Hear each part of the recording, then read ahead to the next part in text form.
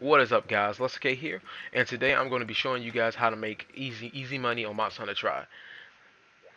But the thing is, uh, in order to make all this money, you will have to beat like the 5 star, well you have to beat the Ceadeus offline on the campaign mode. But what you want to do is farm null berries. And you get null berries from like uh, forest and flooded, the flooded forest missions, and they're really not that hard to get and what you want to do is unlock all the tier for the fields like all the 10 tiers. When you have to get supersized dung and the catalyst you want to do that uh, to level 3 so you can do 10 cycles. And once you want to do 10 cycles you want to put all of them in null berries and enrich them with dung. And you can easily buy dung from the lady in town for and she has like for like five bucks sometimes so you can buy like 500 like I did.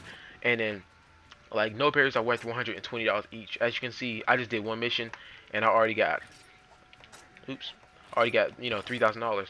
But before this, I got before this I got uh the thirty nine thousand dollars. I believe no twenty three thousand dollars from all the null berries. It was on like six slots in each row, so that's a, that's actually a decent amount of money. And if you just you know play the game and let the cycles go by, it goes by really fast.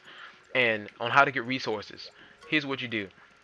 After you beat uh, the Ceadeus, more resource op options unlock.